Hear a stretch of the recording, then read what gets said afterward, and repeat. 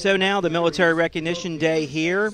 Kutztown University Office of Veteran Services recognizes Rebecca Murga, a highly respected class of 2003 alumni, as a 2019 recipient of the Kutztown University Veteran Alumni Spirit Award.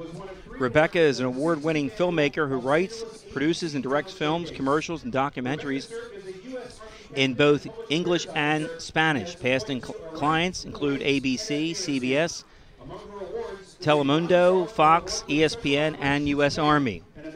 She directed a short film, War Ink, which tells veteran stories, war through, stories through their tattoos, and was one of three directors of the 16th annual Los Angeles ABC Talent Showcase.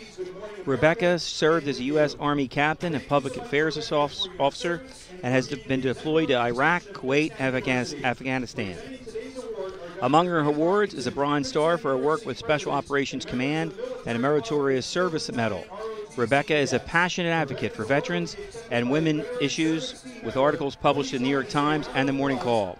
She has also appeared on ABC's Good Morning America and The View.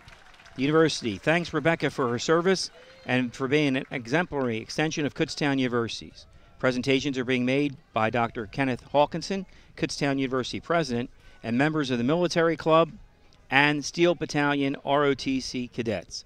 Rebecca's award will be accepted by a Veteran Services team member. Thank you, Rebecca.